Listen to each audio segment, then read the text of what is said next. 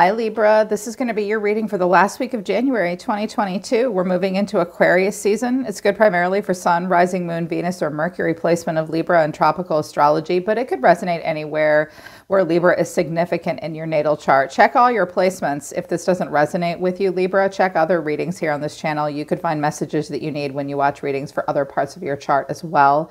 If you want to book a private reading with me, the link to my website's down in the description below. If you're new, welcome to Soma Chandra Tarot and or Soma Chandra Libra. I'm going to post this on both channels. It's kind of the weekly tea. Subscribe and hit the bell so you know when I read for your sign on Soma Chandra Libra. If you're watching that here, you know that I mostly do love messages here, but I do a Celtic cross here on Soma Chandra Tarot for you guys. I try to every week as well. All right, let's get into it. Libra, it looks like an interesting week for you. First of all, I think you're feeling very set in your ways and you need quite a bit of space because we have a lot of loner cards here and cards that show that you want to be in king energy. I think you're going to be very straightforward, very matter of fact. I think you need a lot of, I don't know if it's alone time or just space right now. I think you're going through some heavy spiritual moments. And I also see you very focused on career um, and the 10th house. When you're going to have cyclical emotions, though, at the end of January, Libra, when you're on, you're on, and when you're off, you're off. Because the channel that came out for you in your human design, your human design activation is channel 360, mutation. If you follow human design, look and see if you have this. Um, channel activated. Look and see if you have gate 3 or gate 60, 60 activated. You may or may, may not. But this is how you're going to feel overall this week. He looks bored and frustrated and like he's looking for something. He or she is looking for something. And I do notice the Two of Wands here. Let's just go right to that. This is your catalyst for everything. The Two of Wands flipped itself into the reverse. I think you're kind of having like a back to the drawing board kind of week, Libra, where you're going to focus more on your personal goals. You might have been assessing something for a while and you're like, actually, I think I kind of need to assess myself and figure out what inspires you and lights you up. Don't be surprised if you feel moody this week or need a lot of space. What they have to say about the uh, pulse or the mutation of this channel is the 360 channel is unique in its on and off pulse of innovative energy. So you will be in an innovative energy. If you have any Aquarius or Aries in your chart, find it and use it. It will help you. The inherent inventive creativity of this channel is accompanied by periods of feeling uninspired, low energy, or even melancholy.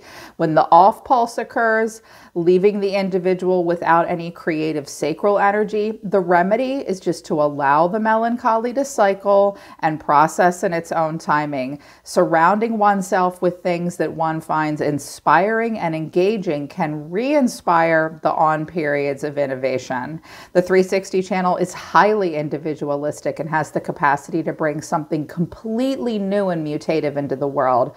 What it brings into the world cannot be planned. It comes only when the sacral response is leading the way. So it'll be like, boom, it'll hit you. So I do think that you're going to have cyclical emotions and feeling up and then feeling down. Right now, you're meant to hone in on something that's very individual and unique to you, Libra.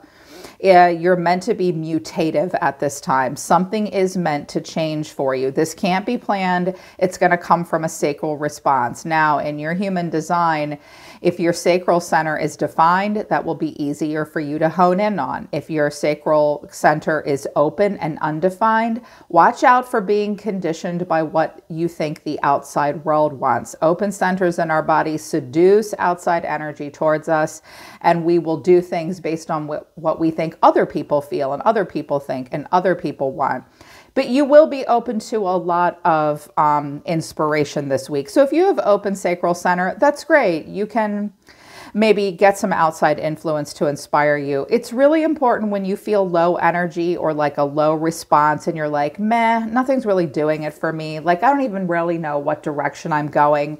Think about your personal goals. Think about how you can mutate and be different and bring something very individualistic into your life what makes you you and how can you put that out in the world and just process through the melancholy feelings. Everything that has an ending has a beginning, and everything that has a beginning has an end. So I feel like you guys are going to kind of be looking for something. It'll be about timing. But with that on period will come innovation. So if you feel down all week, find the things that will inspire you because you look kind of bored and stuck a little bit here. But I feel like some other things are going on really good in your life. Because what came out of, I think this is the Quantum Oracle deck. Yeah. New supportive connections, the loving woman, the honoring path, fear is in reverse, and great achievement is at the bottom of the deck. Planning and action, too. And I do have a 10th house activation for you in your tropical astrology. So, I definitely think that you're going to be very focused on structure, discipline, your life mission, your accomplishments, career, prestige. You're going to be thinking a lot about all of those things. Some of you will meet a very loving woman, or you will be a loving woman that someone else meets. This will be a new supportive connection. They could be an earth sign, they might be a redhead. They may have a dog. This may have to do with food and diet and health and wellness, possibly. Or that could be you in someone else's life. Be on the lookout for uh, maybe a loving woman or a water sign. They may help you on the honoring path. Or you're just feeling like a loving person, woman or man, filled with love, meeting new people. There's an opportunity to. That might be the smart spark that you need you are feeling good about yourself in a lot of ways right now. You feel like you're on an honoring path right now. If you've had fear, you're letting go of it. It would appear that you are focused on a great achievement. Yeah. You're just going to feel on and off and on and off. If you're wondering what to bring to the table, especially as an entrepreneur, think about what makes you an individual, even if it seems radical. Okay, we're in Aquarius season. They want us to radically shift, break glass ceilings, be innovative, be rebellious, do things we've never done before. It might just get you where you want to go in your 10th house. South Node came out. Check your South Node placement. These are overdeveloped characteristics in your personality. You can always fall back on them. You may utilize a lot of those this week but it's also a really good time to think about what you're really truly destined to release and let go of. But I kind of feel like you're going to be falling back on your old bag of tricks this week in a positive way. That's going to help get you through. Also, Virgo came out for you integrity, reverence, and service. Some of you will feel very dutiful this week. Your integrity and your morals and your standards will come into play, your attention to detail. You will be very reverent in your work. Acts of service. You may be involved in acts of service charity work as well, possibly. But it's all surrounding the 10th house and your great achievements. The new connections will come in as well. Just uh, watch for those cyclic, cyclical emotions because your overall energy for the end of the month is the moon. Some of you will feel kind of moody. You'll be wandering in and out of different feelings. Again, like the uh, human design activation says, just let these emotions cycle through you. They will come and go. Listen to your intuition. There is a lot of untapped hidden potential when the moon comes out within you, Libra. That's why the Two of Wands has stopped looking outside of itself and starts looking back at your own emotions. Getting in touch with how you really, truly physically feel and emotionally feel is like your compass in life. Okay. Focusing on your feelings, even if they're heavy don't ignore your intuition. What's driving you and what you're thinking about all the time look very similar. We've got the Hermit and the High Priestess. Well, this is the esoteric brother and sister of the zodiac. And you see yourself as the tower. I think that you're going to have some interesting epiphanies this week that cause you to do a lot of self reflection and spend a lot of time alone in prayer and meditation, you may have some radical shifts in your spiritual beliefs, the way you perceive things. The hermit needs to reflect, do self reflection. Everything he needs to know is within, transmuting knowledge into wisdom. And what you're thinking about all the time is how can I have better intuition? Well, first of all, use it, listen to it. You will be listening to what your intuition is telling you with the moon and the high priestess, uh, heightened intuition this week. Journal your downloads and then check them against reality to see if you are having downloads. if you can. That's what I do. That's what I do when I question my intuition. And I question my intuition all the time because intuition can be very subtle. But I see a lot of self focus. I also feel like you need a lot of time alone. Deep within in recent past, the Eight of Pentacles and the Four of Cups. What are you doing for work? You look bored as shit. Look at her. She's like, I mean, ugh. She's sick of the martini here. I think you have been putting a lot of work into something, but now you're starting to emotionally reevaluate, or very recently you did.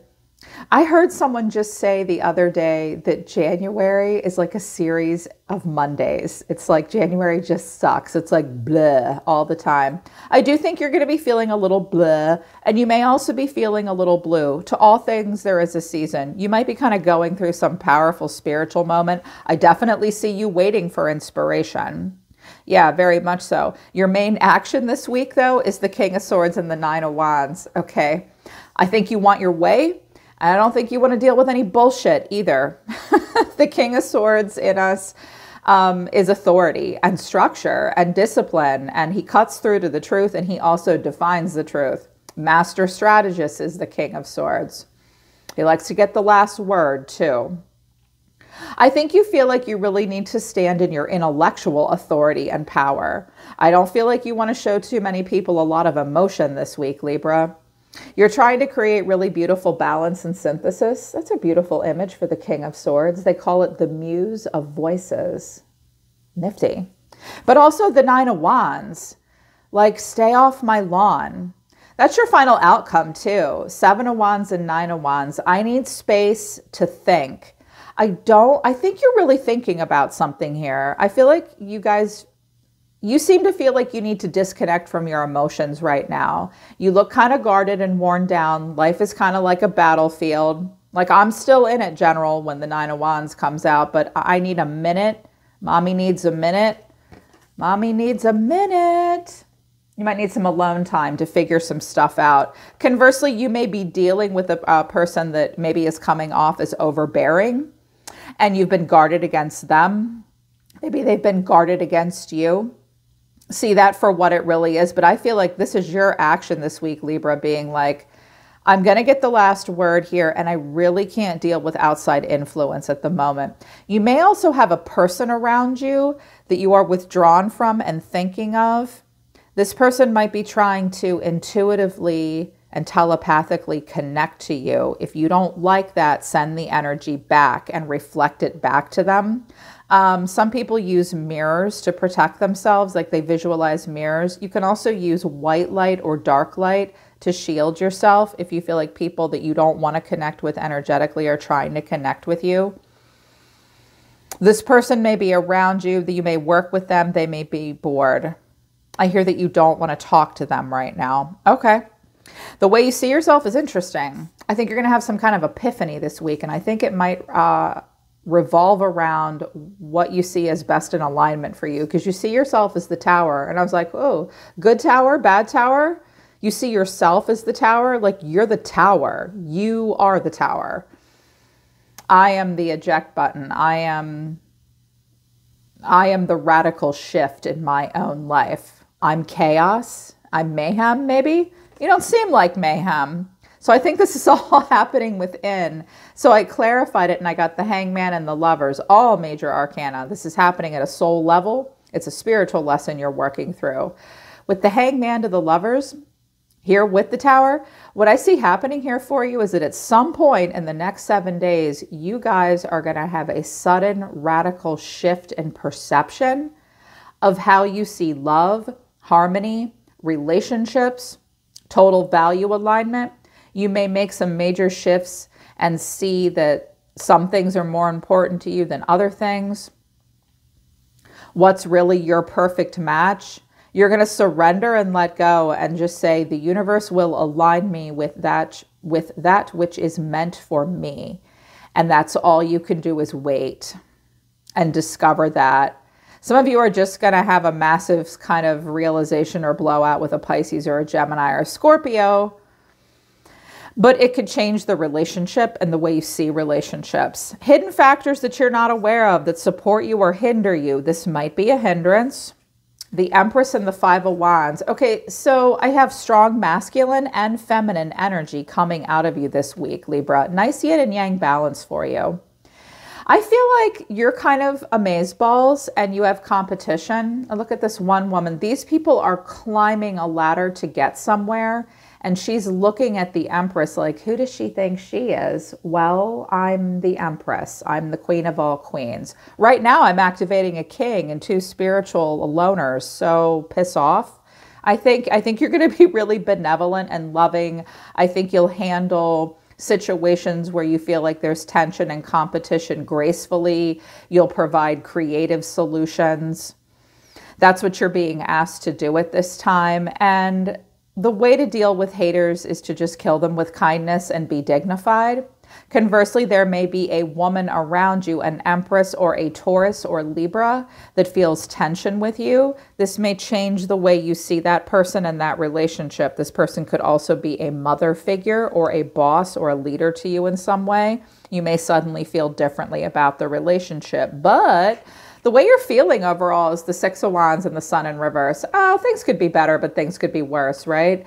I think you lack a little bit of clarity right now. I think you're lacking just a bit of optimism. The sun is still here, it's just in reverse.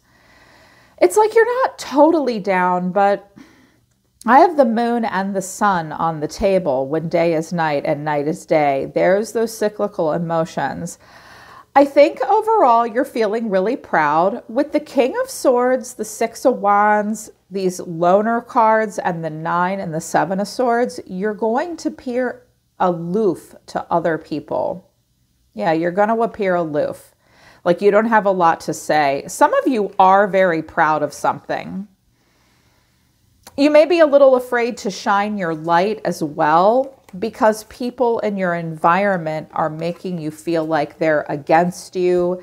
Be prepared to be challenged this week in your ideas and actions, and be prepared to shield yourself from negative energy.